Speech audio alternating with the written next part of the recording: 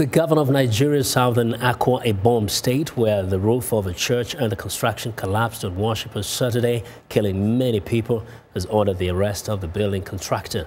Rescue workers are continuing to search for survivors and amid the debris, hundreds of people were inside the uh, Bible Church when the roof collapsed in the city of Uyo. Reports of the death toll vary widely, with some media saying as many as 160 people died, others placing the toll closer to 60. But so far, local government officials are only confirming 27 dead and 30 injured. Several local officials were in attendance when the roof fell, including Akwa Ibom State Governor Udom Emmanuel, who escaped without injury. An investigation into the collapse is underway.